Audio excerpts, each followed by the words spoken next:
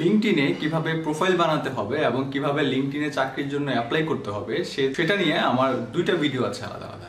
কিন্তু আজকের ভিডিওটা লিঙ্কডিন প্রোফাইল নিয়ে অনেক ডিটেলসে থাকছে। আপনি যদি ভিডিওটা সম্পূর্ণ দেখেন এবং প্রত্যেকটা স্টেপ আপনি ফলো করে আপনার লিঙ্কডিন প্রোফাইলটা সাজান তাহলে আপনার প্রোফাইলটা একদম হান্ড্রেড পার্সেন্ট অ্যাকুরেট হয়ে যাবে এবং লিঙ্কডিন প্রোফাইলের ক্ষেত্রে আপনার কোনো গ্যাপ থাকবে না। মানে যে আমার প্রোফাইলটা ভালো হয় নাই বা ওই অন্য একজনের প্রোফাইলটা সুন্দর, আমারটা সুন্দর না বা আমি কোনো প্রফেশনালদেরকে দিয়ে আমার প্রোফাইলটা সাজাবো, সেটা দরকার পড়বে না এবং আপনি নিজে একজন প্রফেশনাল হয়ে যাবেন। কারণ আমার এই স্লাইডটা বা যে প্রেজেন্টেশনটা আমি আপনাদেরকে এখন দেখাবো, সেটা আমি আপনাদেরকে ইমেলের মাধ্যমে দিয়ে দিব আপনারা যারা চান।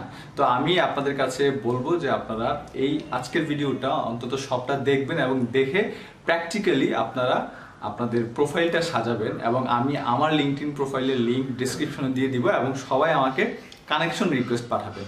যদিও আমার প্রোফাইলটা যেভাবে দেখিয়েছি সেভাবে সাজানো না, কিন্তু আমি গুছিয়ে ফেলব। কারণ আপনারা যদি আমাকে রিকোয়েস্ট পাঠিয়ে বা কানেকশন রিকোয়েস্ট পাঠিয়ে দেখেন, আমার প্রোফাইলটা ঠিক না, আপনাদের প্রোফাইলটা ঠিক হয়ে গেছে তো সেটা তো আমার জন্য একটু লজ্জার কারণ হবে। চলুন আমরা সরাসরি স্ক্রিনে চলে যাই এবং দেখি টোটাল প্রসেসটা কীভাবে আপনি আপনার লিঙ্কড প্রোফাইলটা সাজাবেন। আজকের ভিডিওতে লিঙ্কড প্রোফাইলের প্রত্যেকটা সেকশন কীভাবে আপনি পূরণ করবেন বা প্রত্যেকটা সেকশনে কি কি ইনফরমেশন দিবেন, সেটা নিয়ে আমি সাজিয়েছি। তো আপনি যদি প্রত্যেকটা পার্ট দেখে দেখে আপনার প্রোফাইলটাও একইভাবে সাজান, তখন আপনি আপনার প্রোফাইল থেকে কোথাও জব অ্যাপ্লিকেশন করলে বা কোথাও কানেকশন রিকোয়েস্ট পাঠালে, আপনার প্রোফাইলটার অ্যাকসেপ্টেন্সটা অনেক বেশি বেড়ে যাবে। কারণ এই স্টেপগুলো ফলো করলে আপনার প্রোফাইলটা হান্ড্রেড পার্সেন্টের কাছাকাছি প্রফেশনাল হয়ে যাবে। তো সেই জন্য এটা আপনাদের অনেক কাজে লাগবে, আমি আশা করি। তো প্রথমে যেই সেকশনটা সেটা হচ্ছে ফটো একটা প্রোফাইল পিকচার লিঙ্কটিনে অনেক বেশি ইম্পর্টেন্ট তো লিঙ্কটিনে আপনি যখন প্রোফাইল আপলোড করবেন, তখন এটা আপনাকে শিওর হতে হবে যে আপনার প্রোফাইল পিকচারটা যেন আপ টু ডেট থাকে। কারণ আমরা অনেক সময় সিভিতে অথবা বিভিন্ন জায়গায় আমাদের এমন পাসপোর্ট সাইজ একটা ছবি দেই, যেটা পাঁচ বছর, দশ বছর আগের সেটা করা যাবে না। আপনার আপডেট ছবি আপলোড করতে হবে। নয়তো আপনি সিভিতে আপনার চেহারা দেখে মনে হবে পঁচিশ বছর, আপনি ইন্টারভিউ দিতে গেলে মনে হবে আপনার পঁয়ত্রিশ বছর বয়স। তখন রিক্রুটারদের কাছে এই জিনিসটা একটু অড লাগবে। আরেকটা হচ্ছে reflects how you look on a daily basis মানে আপনার একটা জেনারেল একটা লুক সেটা নিয়ে আপনি ছবি তুলবেন বা এমন করা যাবে না যে আমি লিঙ্কডিন প্রোফাইলের জন্য মেকআপ টেকআপ করে একদম সুন্দর হয়ে আমি একটা ছবি তুলবেন জাস্ট ক্যাজুয়াল একটা ছবি যেটা আপনার বর্তমান সময়ের সাথে যায়। এরপরে হচ্ছে একটা হাই রেজুলেশন ইমেজ আপনাকে ইউজ করতে হবে। অনেক সময় দেখবেন আপনার ইমেজের রেজুলেশনটা যদি কম থাকে, তাহলে আপনি এটা যখন আপলোড করবেন, এটা ব্লার হয়ে যাবে। তো সেটা যেন না হয়, সেজন্য আপনার প্রোফাইল পিকচারটা ফটোশপে আপনি এডিট করে নিতে পারেন চারশো বাই চারশো পিক্সেল এটা হচ্ছে স্কোয়ার সাইজের রেজুলেশন আপনি আরও রেজুলেশন বাড়াতে চাইলে এক হাজার বাই এক হাজারও করতে পারেন, কোনো সমস্যা নেই। কিন্তু চারশো বাই চারশো থেকে যেন এটা কম না হয়, সেটা মাথায় রাখতে হবে। Of for a different image if blurry after uploading মানে আপনার ছবিটা আপলোড করার পর যদি এটা ব্লারি দেখায়, তাহলে আপনি অন্য একটা ছবি আপলোড করবেন। এবার হচ্ছে up your face should take up sixty percent of the frame লিঙ্কিনে যে ফ্রেমটা আছে প্রোফাইলের এই ফ্রেমের সিক্সটি পার্সেন্ট যেন আপনার ছবিটা থাকে। এখানে যে প্রোফাইলটা আছে, এটা কিন্তু সিক্সটি পার্সেন্ট না। মানে চেহারাটা যেন আপনার এই ফ্রেমের সিক্সটি পার্সেন্ট জুড়ে থাকে, সেভাবে আপনাকে করতে হবে। এটা কিন্তু একটা আইডিয়াল ছবি না মানে এটা আরেকটু জুম হলে জিনিসটা আরেকটু সুন্দর হতো। Crop the picture from top of ফেসবুকে আমরা যেমন সেলফি আপলোড করে ফেলি লিঙ্কটিনেও আমরা অনেক সময় ভুলে এরকম সেলফি আপলোড করে ফেলি। এই জিনিসটা আমাদের মাথায় রাখতে হবে এটা একটা প্রফেশনাল জায়গা, এখানে সেলফি ইউজ করা যাবে না, এখানে সব কিছুই প্রফেশনাল হতে হবে। আপনার ছবি, আপনার স্ট্যাটাস আপনার কি শেয়ার করছেন, এই সব কিছু সেজন্য আপনি যখন লিঙ্কডিনের জন্য একটা ছবি আপলোড করবেন, এই ছবিটা যেন অন্য কেউ আপনাকে তুলে দেয় ভালোভাবে সেটা আপনাকে মাথায় রাখতে হবে। তারপর হচ্ছে choose the right expression expression অনেক ইম্পর্ট্যান্ট একটা জিনিস, সেটা আমরা সবাই জানি। আপনি দেখবেন যে কোনো মানুষের চেহারা যেমনই হোক, সে সাদা হোক, কালো হোক স্মার্ট হোক আনস্মার্ট হোক, কিন্তু সে যদি হাসি দেয়, তার ন্যাচারাল যে হাসি, সেটা হাসি দিলে কিন্তু তাকে সুন্দর দেখায়। তাকে মানুষ একসেপ্ট করে। একমাত্র স্মাইল একটা জিনিস যেটা দিয়ে আপনি অন্য একটা মানুষের ভেতরে ঢুকতে পারেন কোনো রকম কথাবার্তা ছাড়াই। সেজন্য ছবি তোলার সময় আপনি একটু স্মাইলি ফেস দেওয়ার চেষ্টা করবেন। এখন কোনো কোনো স্মাইল আছে আপনাকে মনে হবে কমেডি স্মাইল কোনো কোনো স্মাইল জোর করে হাসছে এমন না। আপনি আয়নার সামনে দাঁড়িয়ে আপনি আপনার কোন স্মাইলে আপনাকে সুন্দর দেখা যায় সেটা আপনি প্র্যাকটিস করবেন বা দেখে নেবেন যে এই হাসিটা আমার সুন্দর বা এই হাসিটা আমার সুন্দর না।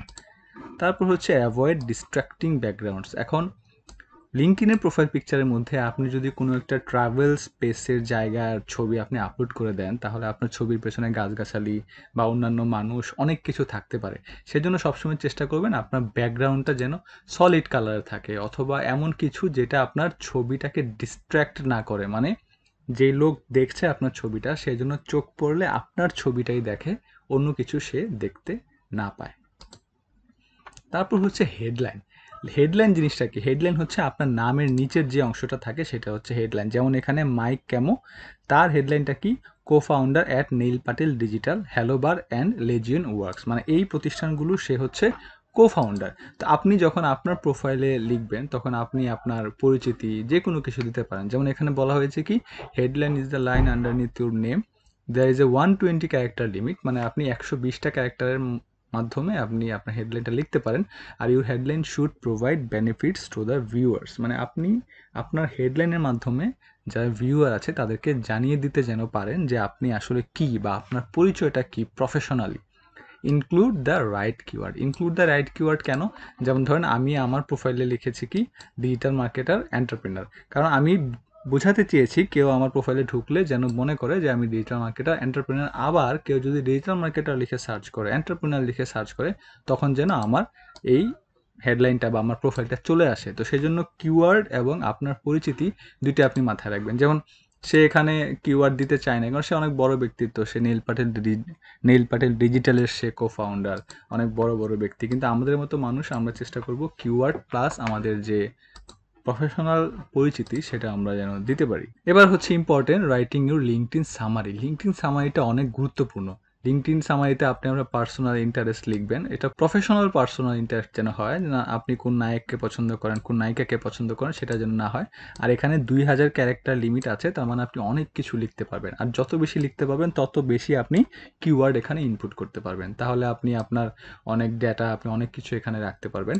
আর have a clear call to action clear call to action মানে হচ্ছে এই যত কিছু আমি বললাম সব কিছুর মূল জিনিসটা যেন থাকে। মানে আমি আসলে কি বা লিঙ্কডিনে আমি কেন আছি?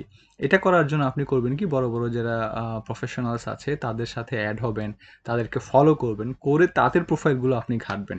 আর আরেকটা জিনিস গুরুত্বপূর্ণ সেটা হচ্ছে একই ধরনের প্রোফাইল মানে আপনি ডিজিটাল মার্কেটার হলে আপনি চেষ্টা করবেন ডিজিটাল মার্কেটারদের ফলো করার। যেন, যেমন নীল পাটিল, ইনি একজন সারা ওয়ার্ল্ডের একজন এসিও এক্সপার্ট পাশাপাশি ডিজিটাল মার্কেটিং এ সেক্টর উনি কাজ করে, অনেক ফেমাস তো আমি তাকে ফলো করার চেষ্টা করি। আমি আপ টু ডেট নিউজ পাই অনেক সেখান থেকে। সেই জন্য আমার প্রোফাইলে আজকে তার অনেক কিছু আপনারা দেখবেন। তারপর হচ্ছে ম্যাক্সিমাইজ ইউর ওয়ার্ক এক্সপিরিয়েন্স আপনি আপনার যে ওয়ার্ক এক্সপিরিয়েন্স সেকশনে লিখবেন, সেখানে আপনার ক্লিয়ার একটা কনসেপ্ট থাকতে হবে সেখানে। যেমন make sure you are link to the company page মানে আপনি যেই কোম্পানিতে চাকরি করেন, সেটার সাথে যেন আপনার একটা, আপনি লিঙ্ক করে রাখেন। তারপরে একটা অ্যাডের স্পেসিফিক জব টাইটেল আপনি যেই জবটা করতেন, সেটা স্পেসিফিকভাবে লিখবেন। অ্যাডের description to each experience section মানে প্রত্যেকটা জবে আপনার কি এক্সপিরিয়েন্স ছিল, আপনি কি কি কাজ করেছেন, সেগুলো ডিটেলসে লিখবেন। তাহলে যদি কেউ আপনার প্রোফাইলে ঢোকে, তাহলে আপনি কি কাজ করেছেন, সেটা বুঝবে।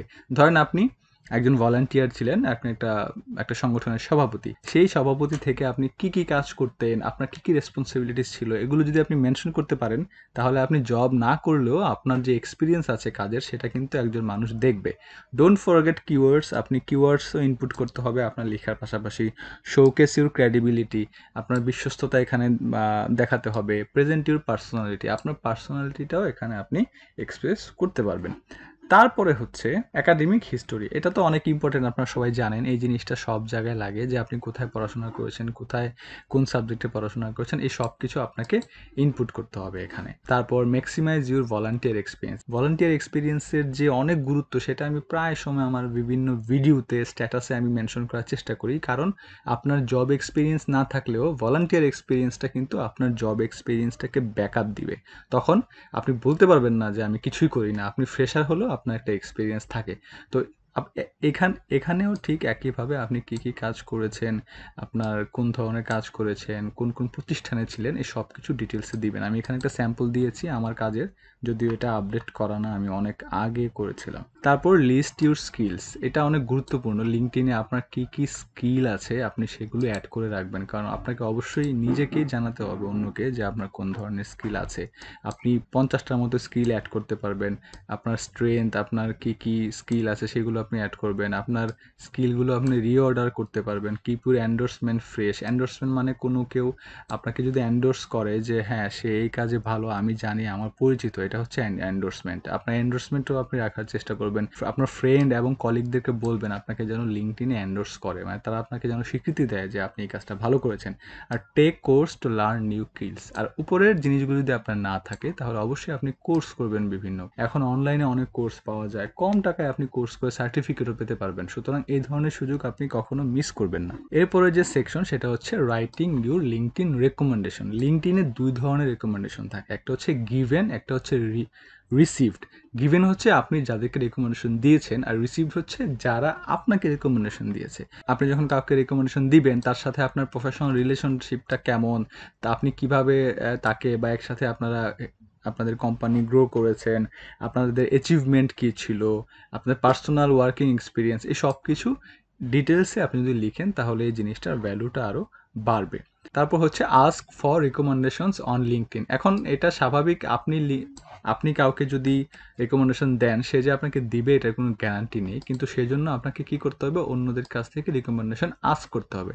এই জন্য আস্ক টু বি রেকমেন্ডেড একটা অপশন আছে লিঙ্কটিনে আপনি সেটা থেকে রিকমেন্ডেশন আস্ক করবেন এবং এটা স্পেসিফিক মানুষ যারা আপনার পরিচিত, আপনার সাথে কাজ করেছে, এমন মানুষকেই বলবেন। আর don't ask numerous people at once মানে একসাথে অনেক মানুষকে রেকমেন্ডেশন দেওয়ার কথা কথা বলার দরকার নেই। তারপর লিঙ্কড ইন্টারেস্ট লিঙ্কড ইন্টারেস্ট হচ্ছে আমি এই সেকশনগুলো আসলে দেখানো হয়নি আপনাদেরকে এখনও এই যে এটা হচ্ছে রিকমেন্ডেশন রিসিভড গিভেন এই হচ্ছে ইন্টারেস্ট সেকশন আপনি যেই যেই পেজ লিঙ্কটিনের লাইক দিয়ে রাখবেন বা যাদেরকে ফলো করবেন, সেগুলো অটোমেটিক কিন্তু আপনার এই ইন্টারেস্টে চলে আসবে।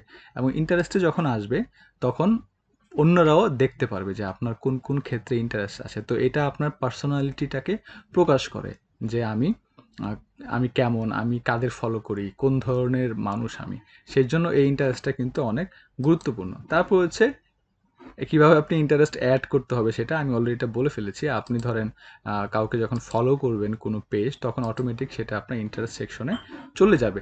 এতক্ষণ আমি আপনাদেরকে যেগুলো বললাম, এগুলো হচ্ছে লিঙ্কটিনের প্রত্যেকটা সেকশন এই সেকশনগুলো যদি এই স্ট্র্যাটেজি ফলো করে আপনারা কাজ করতে পারেন, তাহলে আপনাদের লিঙ্কটিন প্রোফাইলটাও হান্ড্রেড পার্সেন্ট অ্যাকুরেট হয়ে যাবে। যেমন আমি এখানে একটা প্রোফাইল রেখেছিলাম আপনার এক্সাম্পলের জন্য, যে উনি ওনার ছবি হেডলাইন অ্যাক্টিভিটিস এক্সপেরিয়েন্স তারপরে ওনার স্কিলস ওনার রেকমেন্ডেশনস ওনার ইন্টারেস্ট এই সব কিছু আছে।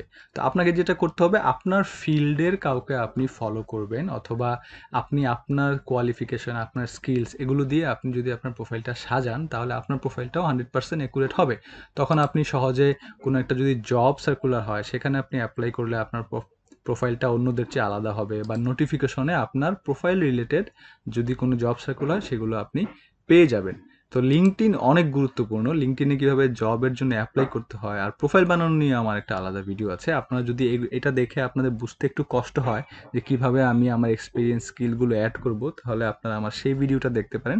সেটা লিঙ্ক আমি ডিসক্রিপশনে দিয়ে দিব আপনাদেরকে। আপনারা যদি আরও চান যে আমি এতক্ষণ আপনাদেরকে যে স্লাইডটা বা যে প্রেজেন্টেশনটা দেখালাম, এটা আপনাদের দরকার, তাহলে আপনাদের জন্য সুবিধা হবে। তাহলে এটাও আমি আপনাদেরকে প্রোভাইড করব। আপনারা কমেন্টে আপনাদের ইমেইল অথবা ফেসবুকে দেখে থাকলে মেসেজে আমার ইমেলটা আপনারা দিবেন আপনাদেরকে।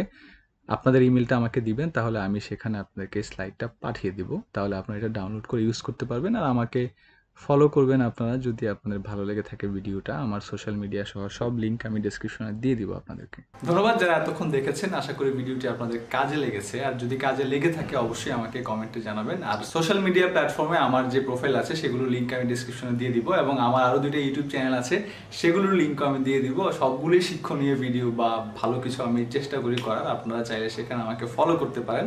খোদা হাফিজ।